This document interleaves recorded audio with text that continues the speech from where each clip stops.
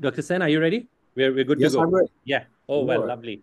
Um, so, so thank you everyone uh, for joining this uh, this Saturday evening. We're excited to have an extremely uh, distinguished physician, um, author, uh, clinician, obviously, and, and, and, and an in-depth researcher in the field of internal medicine. And his own personal interests actually rests with this, uh, you know, very unfortunate condition called Alzheimer's that, you know, he spent years and years researching. Uh, Dr. Sen has today joined us from the East Coast in New York. So, uh, Dr. Sen, welcome once again uh, to Ivory session. Um, we are quite uh, looking forward to uh, you know hearing from you, and, and we've got a bunch of questions from people on, on that that you know we want to run past you.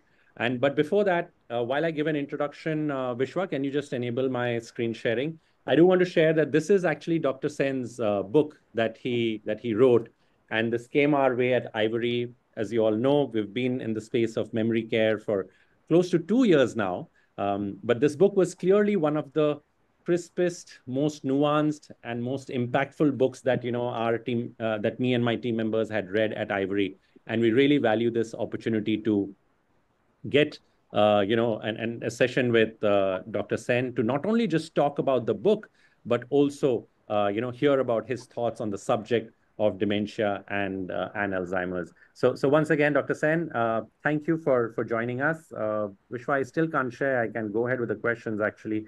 Um, so so Dr. Sen, here's the first question that we had from our group, which is that uh, the field of internal medicine. Uh, you know, okay. this is we've obviously heard of GPs, neurologists, uh, you know, geriatric medicine. Tell us a little bit about your own field and um, what is a good stage for somebody to seek an internal medicine expert? Because this is an extremely complex field and from the limited knowledge that i have like uh, the, the, the experience that i have had with internal medicine doctors are that this is uh, a, a, section of doctors who are extremely well equipped across the most acute uh, you know cases. You know you, you, you actually come in probably in cases where people are in icu uh, where you know you require like multidiscipline intervention. Uh, but in your own words a just your personal story of why did you choose this and b uh, just for our audience uh, at what stage you know do you normally come into a, a patient's life? All right. So first of all before i uh, get in and uh, answer to your uh, question which i which i think is a very relevant question i'd like to thank you for uh, extending your invitation to me. We had had discussions in the past about your perspective about your platform, about your organization, and I'll uh, and I laud you for uh, starting something like this. I think this is of tremendous necessity in our country, in India, and uh, as I was telling you a few minutes before, this is the type of buffer that we doctors lean on uh, when we see patients with uh, cognitive disabilities. You know, very frequently I would actually tell my patients to seek uh, advice from uh, organizations like you because sometimes in, from a very pragmatic point of view it's very hard to get an appointment with a doctor. You know even for myself when i see a patient the next time i see the same patient you're looking at five six months down the road. So there's obviously a break in the continuity and that's where organizations like you come into the picture. So once again you know uh, congratulations for all that you do and thank you for uh, uh, for inviting me to to to have a discussion with with all of you to start uh, uh, today's proceedings with your question, what made me get into uh, dealing with patients or people suffering from uh, cognitive or mental inadequacies is uh, for, for, two reasons. One is a very personal reason. It's it's um, my grandmother. she was, um, and I have that in my book. she was a very erudite and a scholar uh, individual. And uh, back in the days when women uh, were measured by how well they have brought up their children, she was an out and out scholar. Um, she, just a request to everyone to please be on mute while we are muting everyone. Uh, you know, sometimes it gets missed as you join. Would really expect everyone to be on mute, please.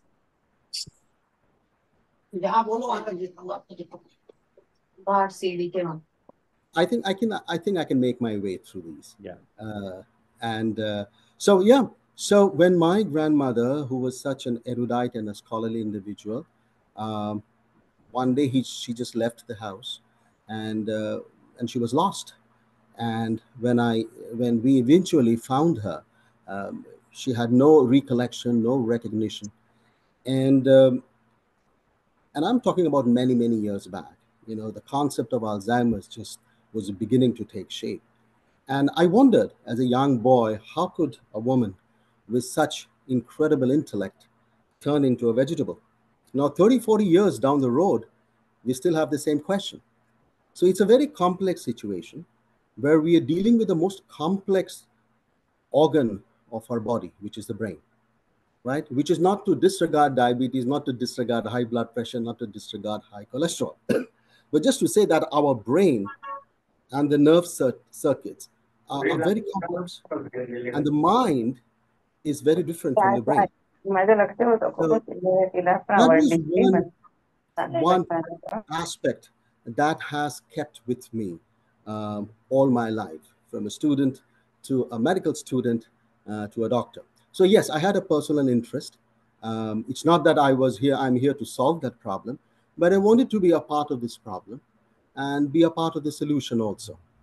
And in terms of my professional aspect, uh, the calling, uh, although it came from the heart, it also came from my mind because we are scratching the surface. And it's, it's very obvious if you look around the world, we are, we are gracefully aging. We are gracefully getting younger and younger. And we were 85 years old only 20 years back. Now we are 85 years young. We were 90 years old 20 years back. Now we are 90 years young. So physically, we are doing so much better. As a matter of fact, our middle age has been pushed back. It used to be 45, now it's 65. Because our cutoff used to be 80, now our cutoff is 1995. So obviously, the brain cannot keep up with the physical health uh, that you know we are keeping up with, and it is emerging as a tsunami. And we have not seen the peak of cognitive disorders. We have not seen seen the peak of Alzheimer's. Mm, it's it's on its way, and uh, more and more research, more and more awareness, and more and more us physicians we need to step in. I always say that um, when it comes to Alzheimer's, the best doctor is a family member. All of us are doctors here Hmm. because we know so little. And I think um, the earlier you go to an internal medicine doctor, uh, the better, because time is like a diamond here. Hmm. And before we fall into the slippery slope, we can still turn the things around. And once we get into the depth of this conversation, I'll be able to uh, convince, hopefully, mm, all of us uh, how how and why we should seek a, a doctor's consult as soon as possible. Got it.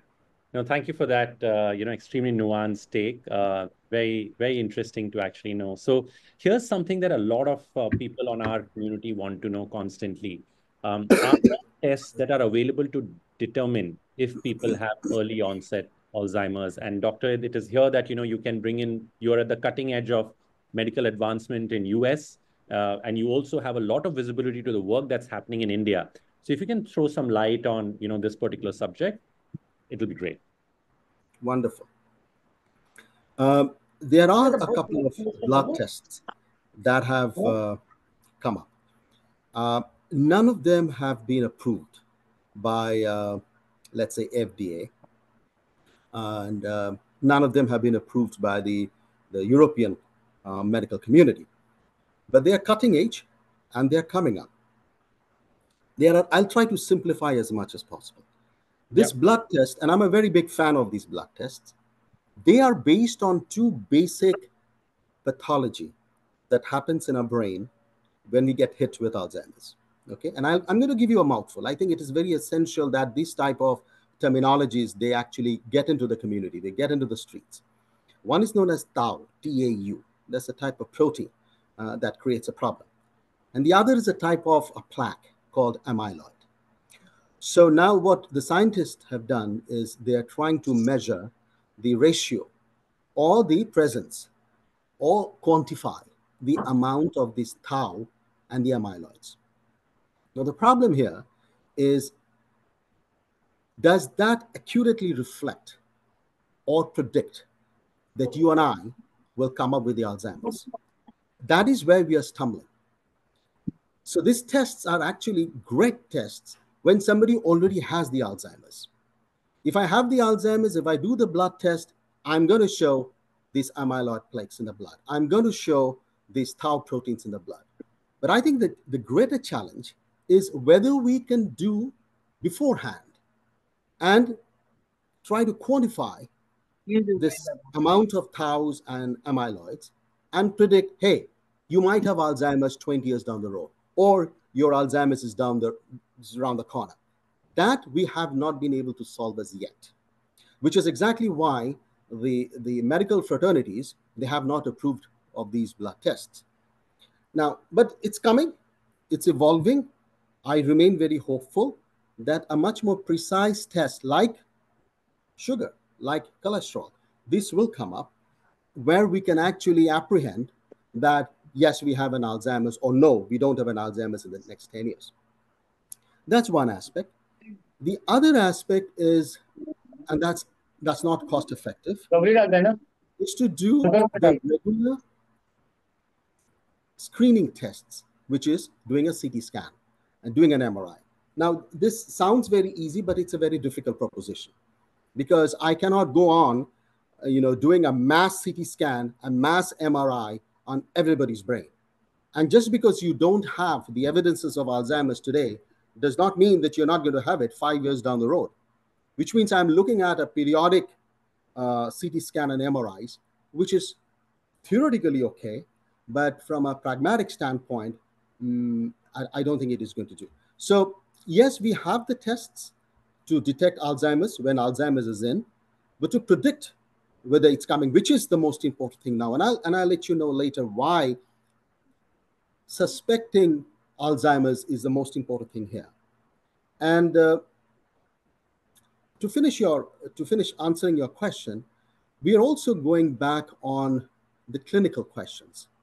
There are a set of questions that we ask, and that is where internal medicine uh, comes into the play. And as a matter of fact, I'll take the brave brave step forward and say that family members family me- members should have this set of questions to ask to their beloved if they suspect that there is something which is a little outside the normal. And it has its own name. One is an MMSE, which is a mini mental status examination, and the other is a Montreal cognitive assessment. These are the papers, these are the guidelines, these are the set of questions that everyone from the administration to the doctors to the government they should give those papers to each and every family and it's only a set of 20 questions. And those 20 questions are very simple questions. And you ask them, and there's a score, you know, 24 out of 30. Anything more than 24 out of 30, you have passed, you've done good. If you have 20 out of 30, does not mean you have Alzheimer's, but it might mean that this is the beginning of the beginning of the beginning. And hey, you start the intervention right there. You don't wait till I don't know where my bathroom is. You don't wait when I don't know who Isaac John is. That's advanced Alzheimer's. But there are many things that will come much before these advanced things come, which can be captured through these questions. So I'm a big fan of these Montreal cognitive assessment tests. And here, when I practice, that's the paper that I'm giving out to all my patients. If right. we are serious about our nation's health, these are the things that should come up. Those 20 set of questions, and it comes in different names. There are various companies that have released it. MMSE, Montreal Cognitive Assessment is another one known as Sweet 16. Those are questionnaires, and they are valid scientific questions to find out whether you're functionally there or not.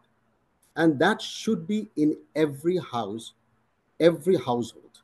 And everyone should know about those 20, 25 questions. All right. So, yes, we have a blood test. Yes, we have CT scan and MRI. But yes, we have something on hand known as those set of 20 questions that we should be using it very often with our family members and as i say to my patients with yourself yeah and thank you for sharing perspective on that and just like how we were discussing earlier ivory has also adapted one of those tests and you know has has put it up on, on our website so anyone's interested like do reach out to to to to me or or meher or vishwa on this call uh, moving on um, here's, uh, you know, here's where we get closer to your area of expertise. I think this is your personal, you know, passion, mission, um, Dr. Sen. Uh, you know, let's begin. Very high level question. I know you can go and on, and on and on about this, but how about sharing a few tips on how can people keep their brain healthy to prevent Alzheimer's? You know, I, I, I would seriously have to simplify this because uh, you are absolutely correct. This this question itself is a two hours lecture, and and I would like to give that two hours lecture because it's very important. Prevention is the most important aspect of Alzheimer's. Any disease has a couple of phases. We have anticipation, we have prevention, we have cure, and we have care. When it comes to Alzheimer's, when we don't have the cure, we have the care, but we don't have the cure. Anticipation and prevention becomes the fulcrum, becomes the pivot, becomes the pillar. So, how do I prevent Alzheimer's? How do I keep my brains healthy? I'll, I'll break it down to four M's, right? Motion, music, meditation, and mindset. These are the four M's that I would like to concentrate on and give me another minute or two to dwell on these four aspects. What do I mean by motion? Now, the easy word of motion is exercise. Now, first of all, why, why do we, doctors and scientists, we think that exercise helps? Now, obviously, the easy answer is that exercise keeps us healthy and all, but we have actually done serious research work where we have found out that when we exercise, physically exercise, there are certain areas of the brain, those areas that gets hit with Alzheimer's, those are the areas that actually grow. When I say grow, I mean they have enhanced nerve activities, electrical activities. So that does not mean that you have to put your boots on the ground all the time. Walk. If you love to dance, dance. If you love to run, run. If you can't run, jog. If you can't jog, you walk.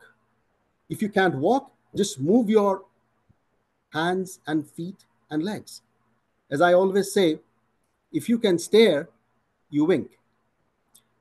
Use all muscles of your body because motion helps in the enhancement of the electrical activities of those exact areas that gets damaged in Alzheimer's. That's number one. Number two is music. Now, again, we have an easy answer for that. Okay, of course, music helps, emotionally it helps, but we have done a tremendous amount of work in music. I have, I have shared this story countless number of times in various platforms, even when I was addressing United Nations. And I will share this story here again. And I know there are audience here who would say, Dr. Sen, you have spoken about this story many times before. But I will still say this story because this is a personal story that I have. Many years back, when I was called to see a patient in an ICU, the patient was in a semi conscious state and she was having suffering from difficulty in breathing. And I realized that that difficulty in breathing was because she had a lot of fluid in her belly. So I decided to take the fluid out of the belly. And obviously, she was in a state of coma. So there was no question of talking to her or asking for any permission. It was ICU. It was midnight. So I suited myself up and I was about to draw the fluid from the belly when I realized, oh, geez, my cell phone on.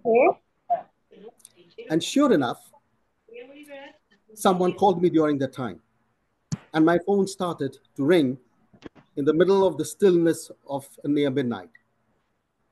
Now that hap- that night happened to be a very special night. It was 24th of December, transitioning into 25th of December. And I had changed the tune of my phone to a very profound gospel song, Joy to the World, the Lord hath come. And it continued to play. From the corner of my eyes, I could see my patient, Gloria Sanchez. Her eyelashes started to flutter. And then she whispered. She came out of the coma and she whispered, Is it Christmas, Doc? I responded, It is Christmas, Gloria. She said, Merry Christmas, Doc. I responded, Merry Christmas, Gloria. The music died, the phone stopped, and she fell back into a coma. This shows the profound effect of spiritual music, their ability to go inside your brain where not even medicines can reach as of now. So I have personal experiences of how far music as a primordial language can traverse what words and least of all medicines can do. And on top of that, we have had tremendous amount of research that has been done. Andrew Newberg is an exponent of that, uh, where he actually played various types of spiritual music. And uh, it has been established again that those areas of the brain that gets damaged with Alzheimer's get revived through music. So music, you know, people come to me all the time and they said, you know what? My mother has Alzheimer's. My father has Alzheimer's. My grand sister. my, what do I do? How do I talk to them? What do I tell them? I said, the first thing you should know is what not to talk to them. Because it is it is a different equation now.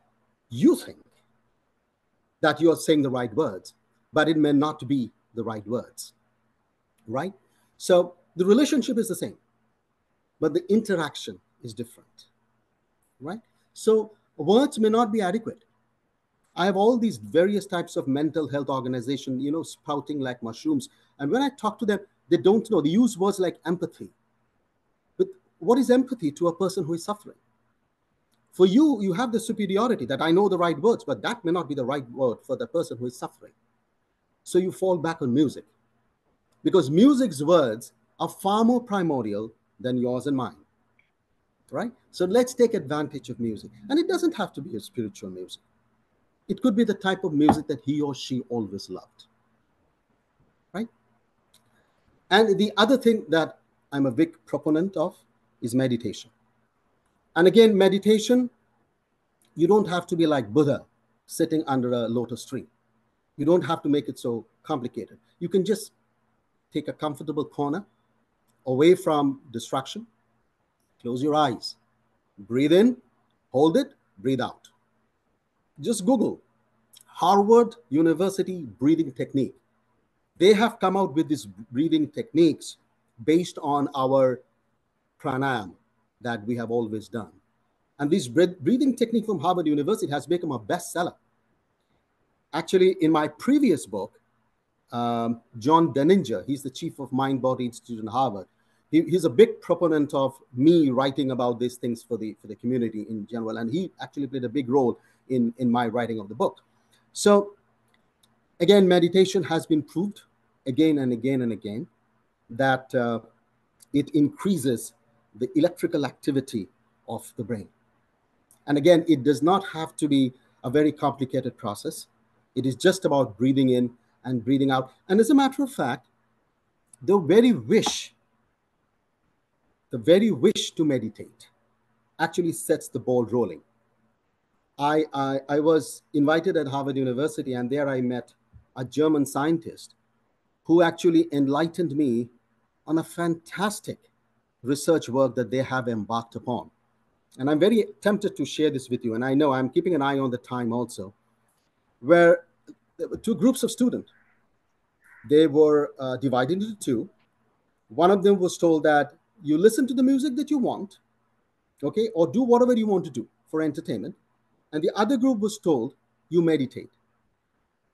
But the scientist who did the experiment, he did not make any hard and fast rules that hey you 20 meditate and hey you 20 you do other stuff of entertainment he simply said that you decide so by themselves those 40 students they broke themselves apart and 20 of them said you know what? I love to meditate. And 20 of them said you know what? I love to play around. I love to listen to jazz or whatever. Before they could start the scientist said stop. You don't have to do it. It's enough. And I'm going to do the MRI and the CT scan.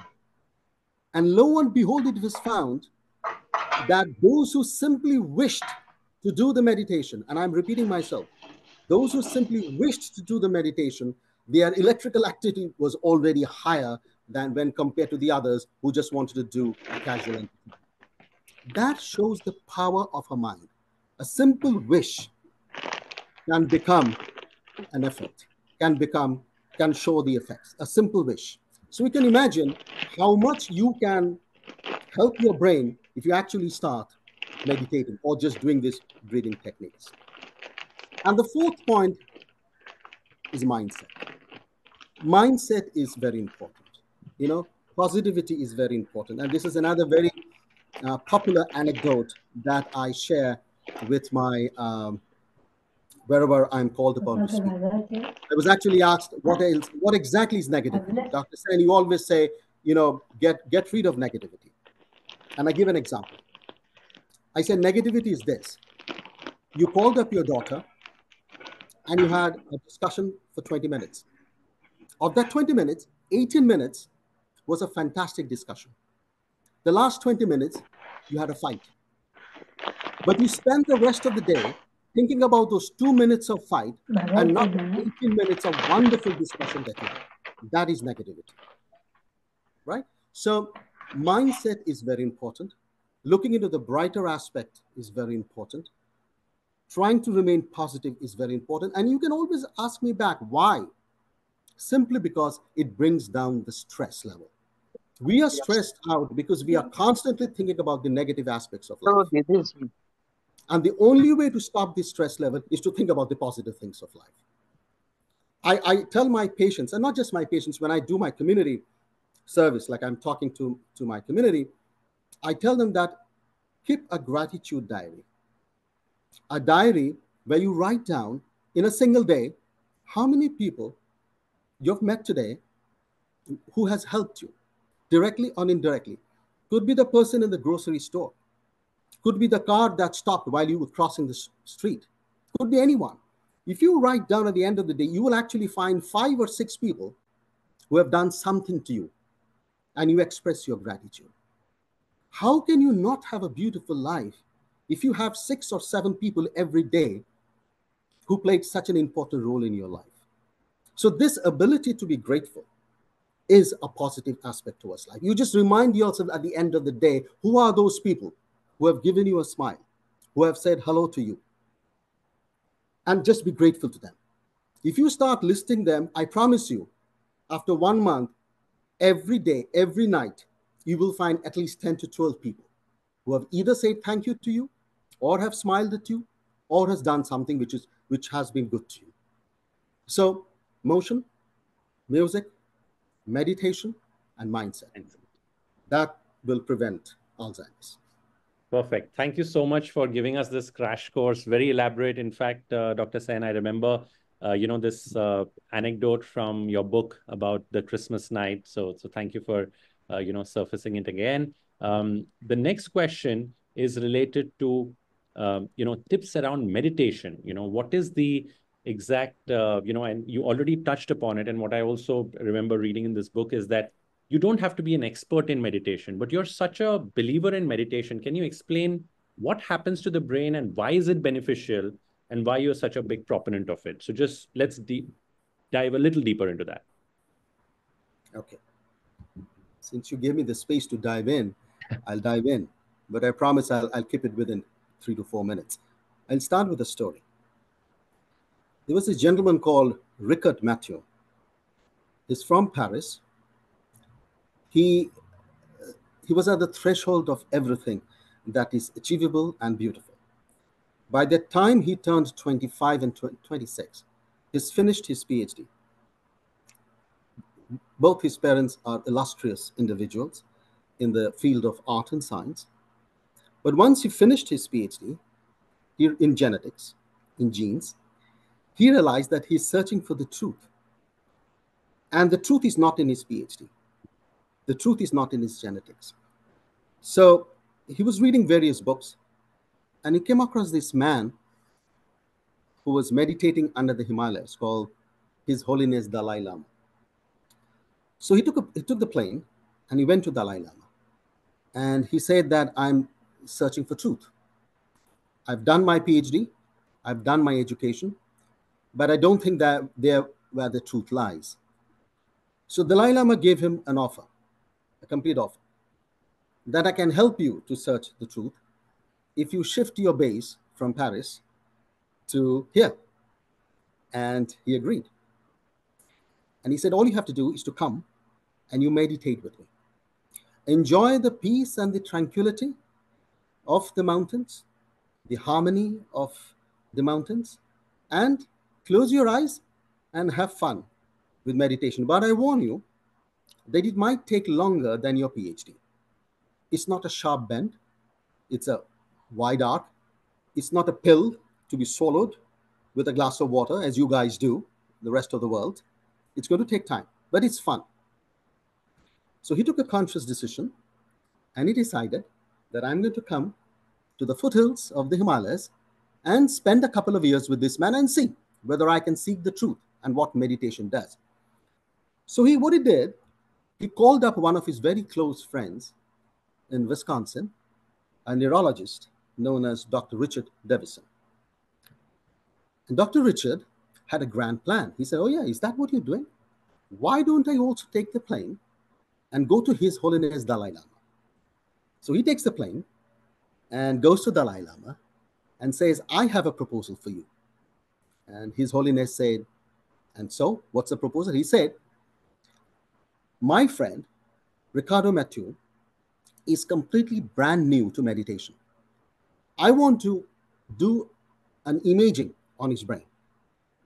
And then when you, while you lead him to a series of med- meditation, I want to do a series of brain imaging. I try to find out whether this meditation has any effect. Don't get me wrong. I'm not doubting your policies, your holiness, but I really wanted to put it under the microscope. Dalai Lama said yes to it. And so this wonderful journey started where he learned the, the types of meditation, and I'll talk to you about it.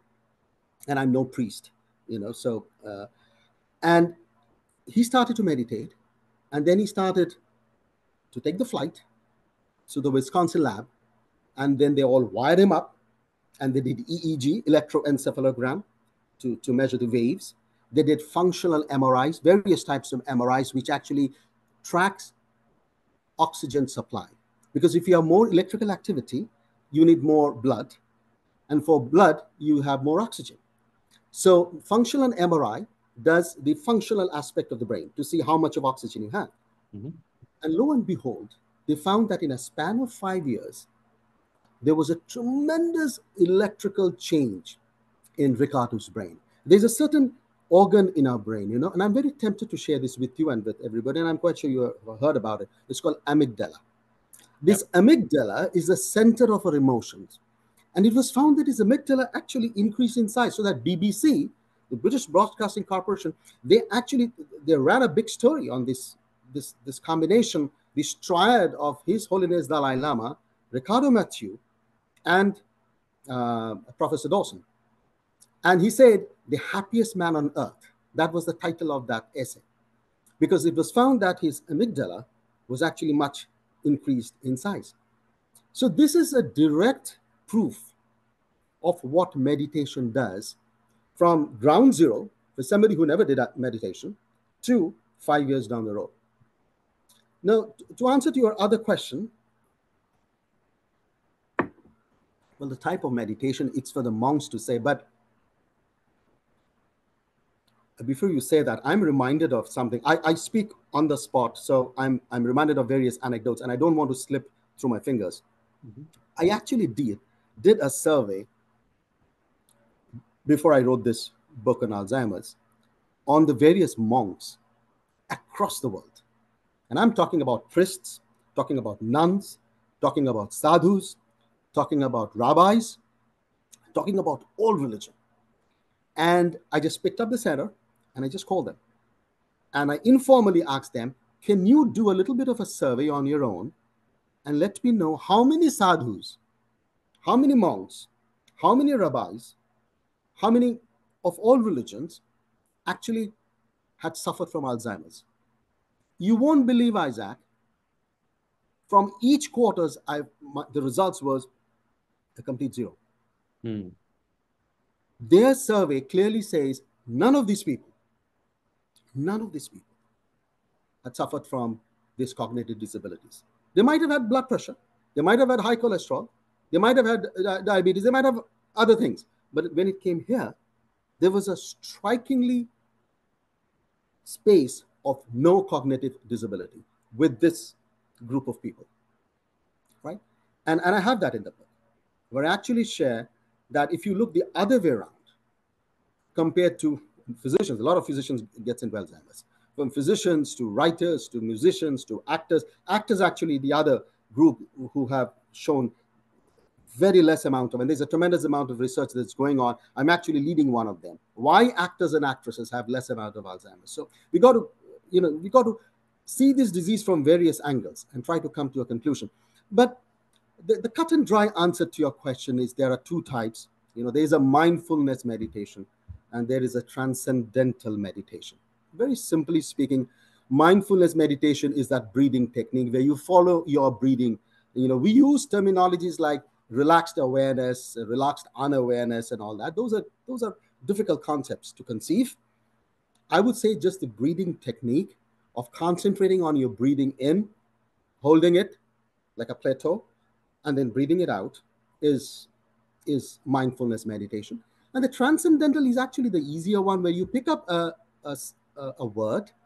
Maybe have a name for it. We call it a mantra, but it could be any word, and you just repeat the word you focus your whole attention on that particular repetition of the word you know and i know that you know beatles for example uh, you know the beatles were big proponents of uh, transcendental meditation because they found it easier because they play music because you know they, they follow notes you know? So it's e- it was easier for them to do transcendental meditation but it's a personal choice. Mm, but at the end of the day giving yourself 10 minutes of time i do that. You know 10 minutes of time 15 minutes of time. I can be a very busy doctor and then i write and then i'm into various organizations. So the end, end of the day is literally my end of the day but i can still close my eyes and i can still breathe in and breathe out and i think that helps a lot that helps a lot and the other thing that i would like to say and i would like to end on that tone on that particular question is that like many thing else meditation can also be addictive I've seen that. I mean, you, you struggle for the first five minutes, but I promise you, after five months, you will not struggle.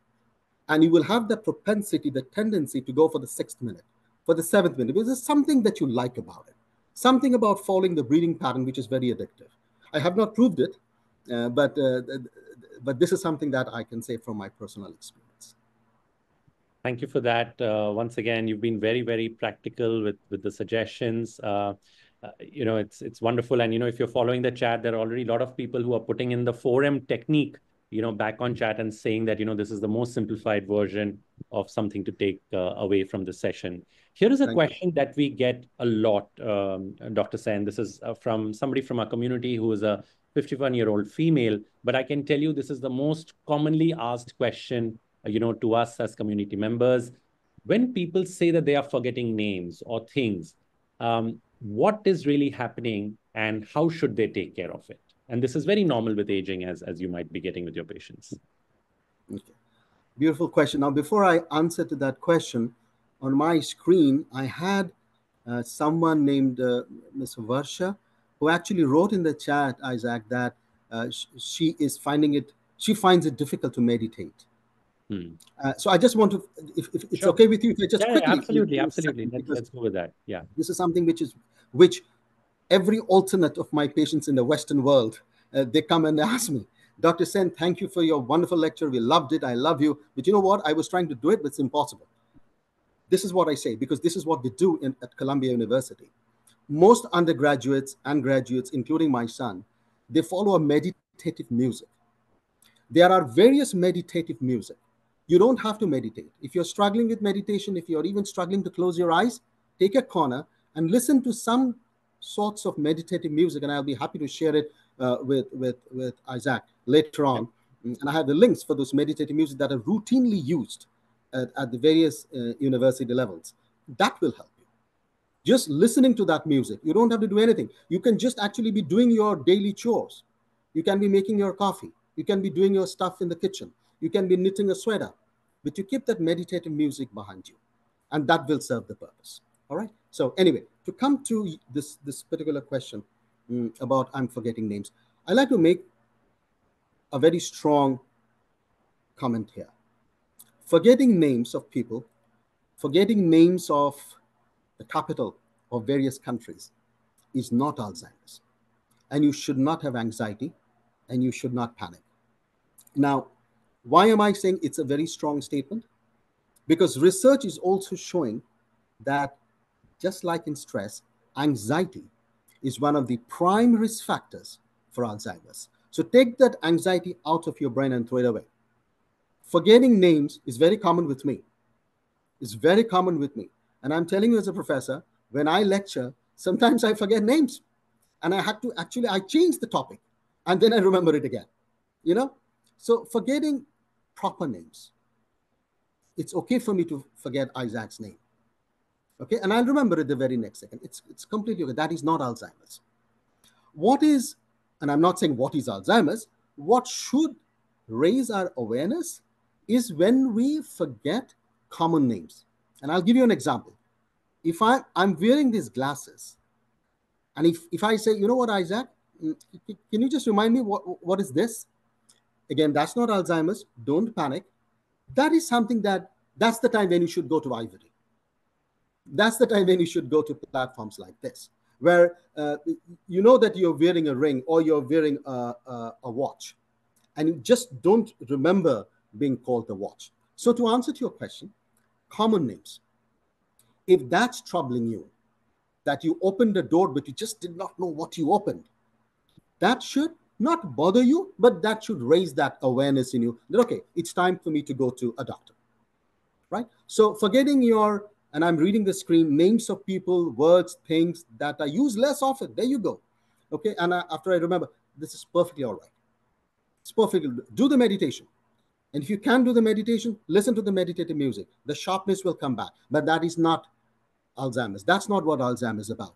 And there's another uh, thing, if I may, I will share with you because I shared this, this particular thing the beginning of the beginning of Alzheimer's comes in various ways. You know, I don't know whether that's another question that's coming up, but you know, it's very it's very tiptoe, very hushed, very slender, very slim, and one of them is forgetting these common words.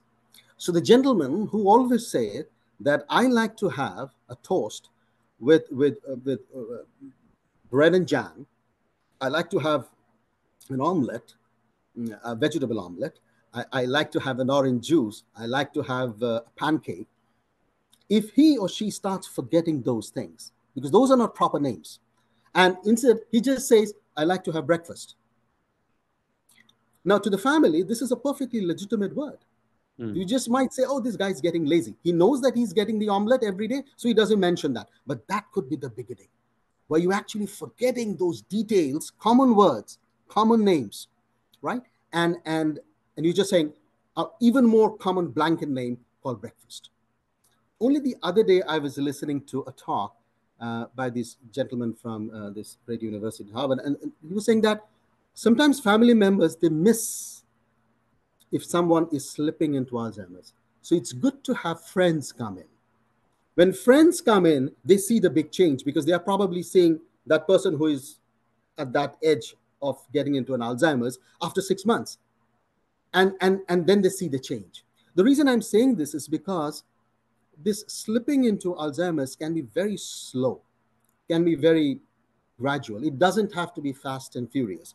Although i have example of someone who just got into alzheimer's. He was writing a letter. She was actually writing a letter. And ironically she is a doctor to her husband. And she started by saying you know dear beloved uh, and all that. After the paragraph she ends the letter and says, Your beloved daughter. She, she loses her identity through an email, through a, a letter. It can be that fast and furious, but usually it's like a glacier. It's very slow. So, yeah. So, to, to, back to the question and the answer, mm, uh, please don't panic. Don't be anxious because anxiety is a risk factor. Throw it away. It's very, very normal. And, and uh, just listen to good music, listen to good spiritual, meditative music, and you should be good. Great. Great. Thank you for that, uh, Dr. Sen.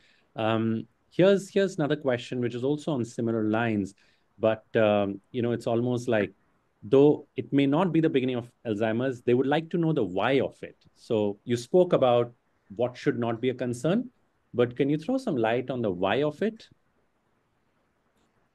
Why?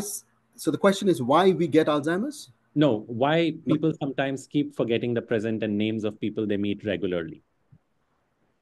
Well, that that why has to do categorically mm-hmm. with we, we use the word we hate to use it distraction. You know some of us are extremely objective. It's a personality. I don't i don't want to use a personality disorder but what i'm trying to say is that it's a personality bias. You know i will replace the mouthfuls by just saying two words side by side objective and subjective. Some of us are very objective. Our frontal lobe is very sharp and we remember you know we are objective. Okay i got a meeting at 10 o'clock and i'm preparing for that meeting at 10 o'clock. And hey you don't disturb me. Make sure you don't call me. Objective. But there are people who are very subjective. Subjective people they are spread out. If they if you're spread out you will miss those common names.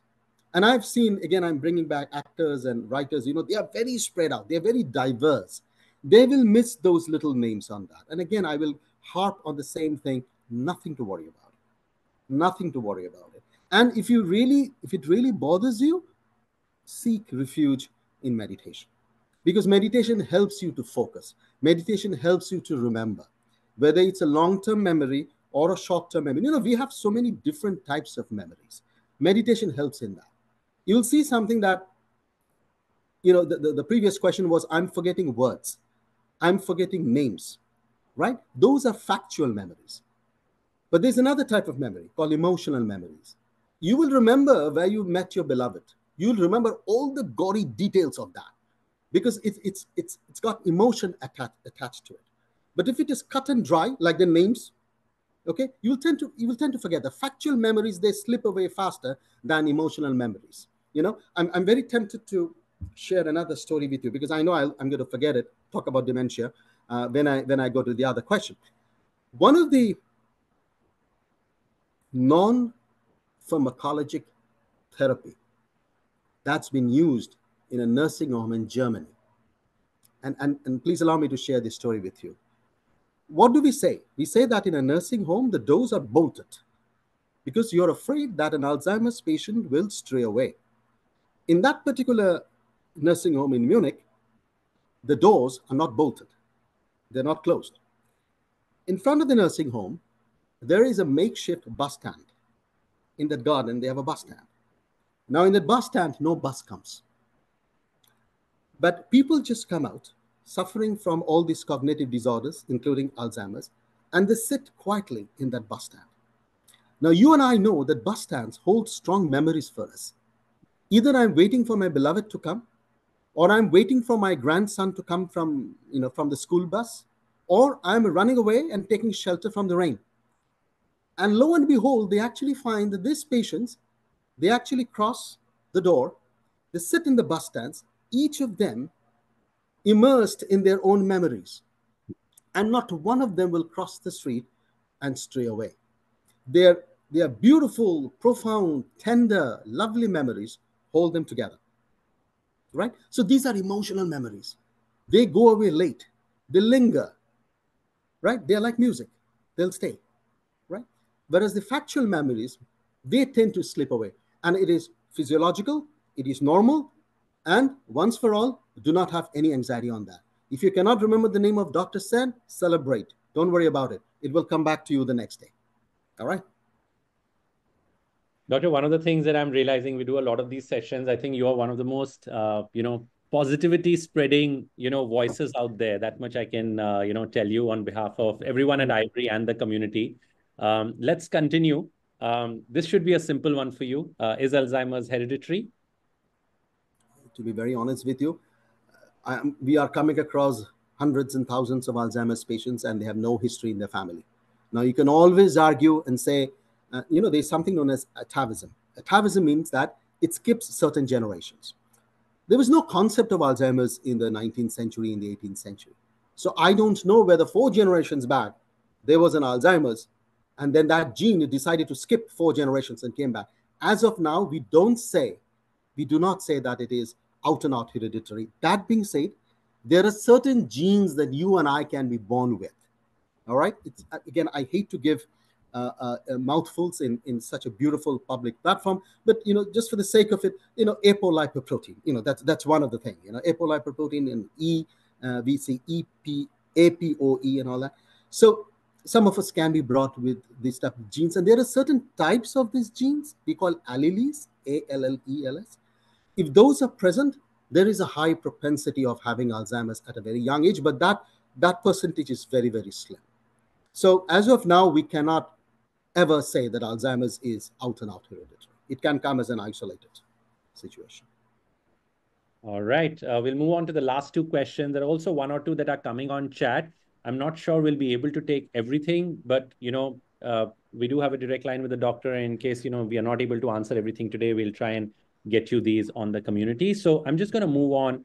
And um, here's something that's a little more specific, uh, doctor. Uh, you know, from a from a you know community member. Is there any holistic approach for bipolar disorder to make it manageable or curable? Well, first of all, I'm not a psychiatrist. Um, that being said, uh, I do have patients with cancer and bipolar disease, with diabetes and bipolar disease. And a doctor is a doctor at the end of the day. So I should be able to uh, answer to this. Uh, see, bipolar is a little different kind of a cognitive disorder. And I'm not going to give you a lecture on bipolar. Time is of essence, and I'm looking at it. I'm only a few minutes away yeah. from ending this wonderful conversation. It has various types, you know, bipolar one, bipolar two, and there's another three which is coming up, cyclothymic, we call it. So, in, in certain types of bipolar, and I'm going to keep it very short, you have more of excess energy, more of that maniac form. And the other types of bipolar, you have more of the depressive form. They alternate the essence of bipolarity is restlessness, is instability. You are like like the oscillations of a genius. You know, you move from one arc of the pendulum to the other arc of a pendulum. And there are medications for that, you know, and I'm obviously not going to give you the names of those medications, but I can give you a blanket name. Mood stabilizers is one of them. You know, mm-hmm. you know we stabilize the mood disorders. But holistic approach is definitely, definitely strong psychotherapy. There are various types of psychotherapies we have CBT, cognitive behavioral therapy. Um, whoever is asking the question, please approach the behavioral um, consultants. Uh, and there is another known as exposure therapy, where you expose yourself to those things that stresses you. And you expose them so many times that it desensitizes you. And in the long run, you become a master in, in controlling that situation which has always stressed you out you know?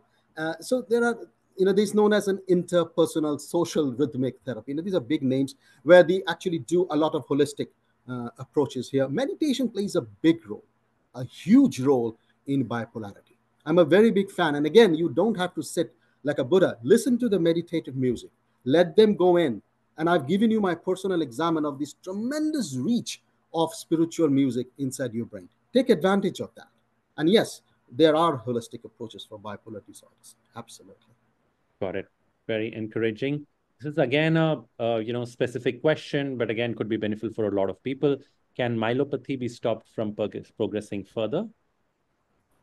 Well, myelopathy, let's break it up. Pathy is path. Path is pathology, anything which is abnormal. And myel means, um, myel actually means muscles you know. So if you have a problem with I, I, there are so many causes of myelopathy okay? It's a medical question and i would love to answer it. Uh, it would depend upon that particular cause of that myelopathy. If there's a herniation in the spinal cord it calls for a surgeon to fix it. If there's a stenosis which means narrowing of the cord which is calling myelopathy um, surgery is going to help it can, can it be stopped? It will depend so much on the cause. And I will not uh, give you any false answer on that. In certain cases, it cannot be stopped.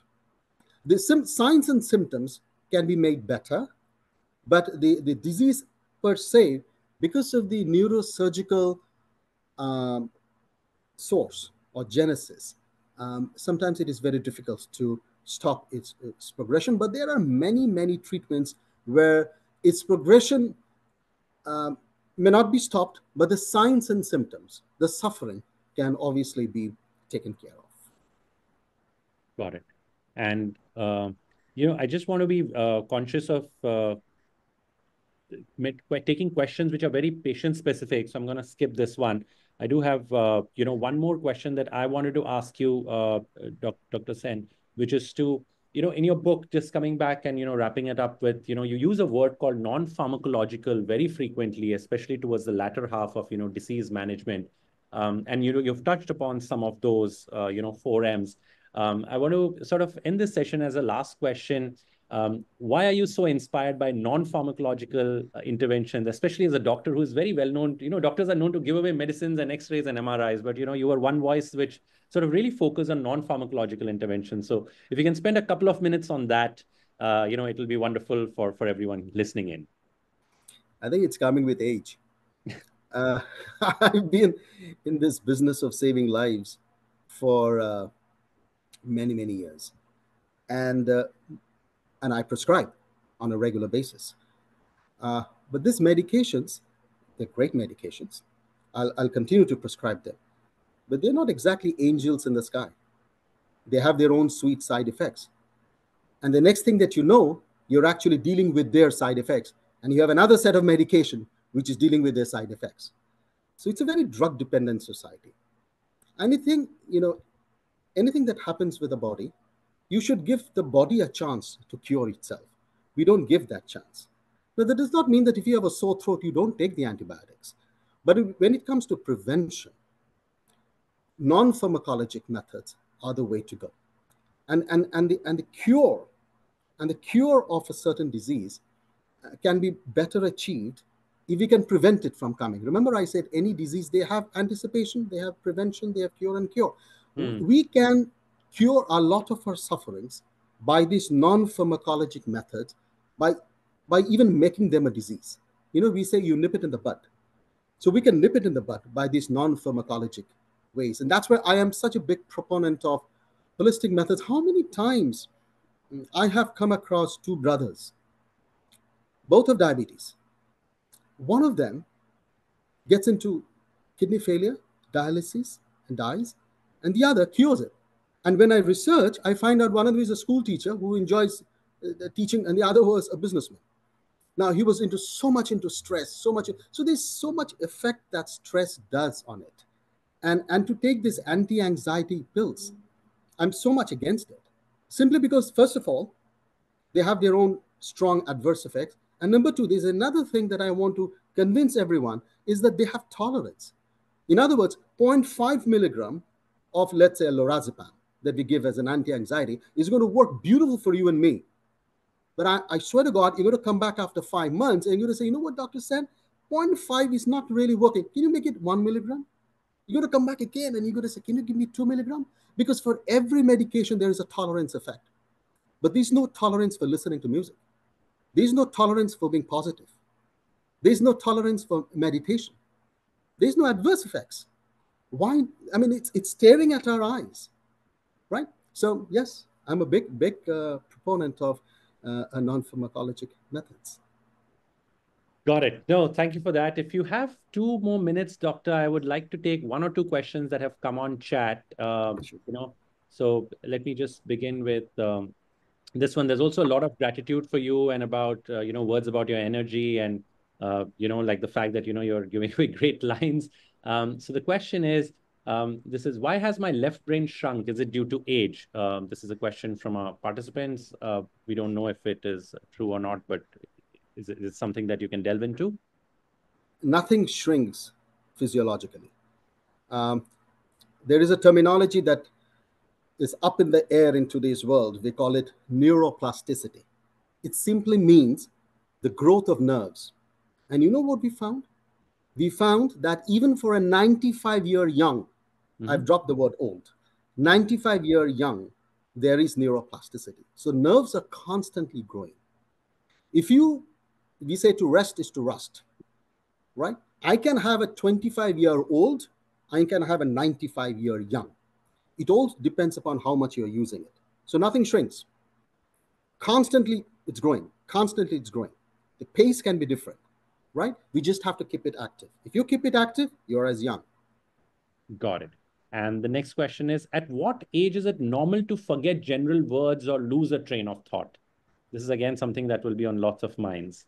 Yeah, yeah. There's no age. There's no age at all. As I said, factual names, it's okay to forget. It's okay to forget. Some of us will forget earlier than the others.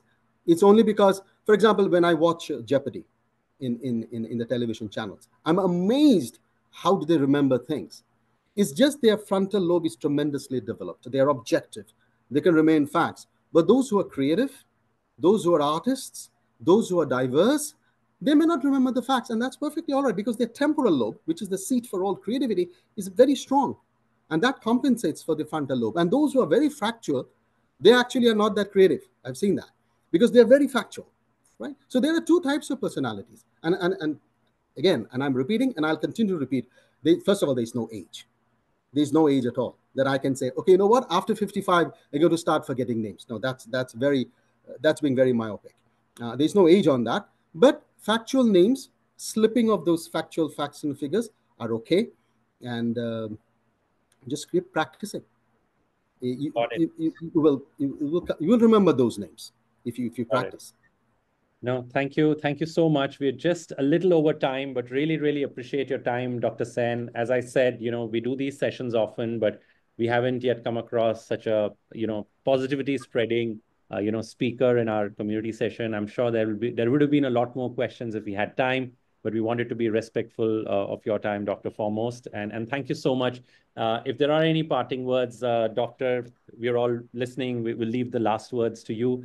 Um, and, and just want to uh, hear from you on anybody who is probably a caregiver, because you spoke about that bit in the in initial part, which I found so fascinating that all of us are doctors if we have somebody at Alzheimer's at home. So would love for you to end it on a parting note of one or two words of advice for any caregiver who is listening in or you know who we might share this recording with. What would be your words to say? And why did you say that you know everybody is a doctor when it comes to alzheimer's?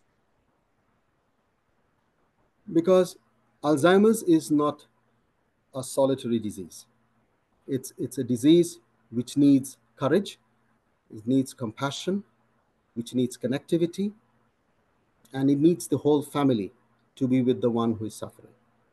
And it's an emotional disease. And a caregiver should not be a single person. A caregiver should be the wife, should be the husband, should be the grandchildren, should be everyone. We we should all be a part of a problem and we should all share a solution. That's that's what alzheimer's calls for. It's an emotional disease. It's a family disease and no one else uh, has the right to suffer alone. We will all be together in this and uh, together it's, it's a journey together. And it's a wonderful journey. And i tell my alzheimer's patients caregivers that never think that he or she is not recognizing you. Love cannot go away. No disease has the power to vanquish love. The expressions are not there. It may not surface as an expression. Deep down, like a stream, it's still trickling, right? All we have to do is to shake hands. All we have to do is to shake hands. It's a new interaction, but not a new relationship. The relationship is there. That's it. That's a, that all that we say. Thank you so much for ending this on such a you know massively hopeful note, Dr. Sen. It was a pleasure to have you. Thank you everyone for listening in. We'll share the recording across. And just a reminder once again, this is the book that Dr. Sen has written. Uh, we will send across the Amazon link shortly. Like I said, uh, quite a few of us at Ivory have read it. It's a phenomenal book, and you know you've heard some of the uh, you know stories that Dr. Sen has you know put together today. He of course quoted only two anecdotes. There are multiple such anecdotes. So please do check it out when we send out the link to you know everyone. And and, and doctor, we have a you know three and a half thousand plus strong community. So this will go out to everyone. Um, yeah, along with the recording. So once again, uh, thank you. Uh, this was thank this you so wonderful. much. It was a pleasure. It was a pleasure. Thank, thank you. you, Dr. Sen. Take care. Thank you. Bye. Bye. Bye. Bye. Bye. Now, how do I go yeah, out? I'll exit that meeting for you, doctor. Not a problem. Thank you. Bye. Thank you.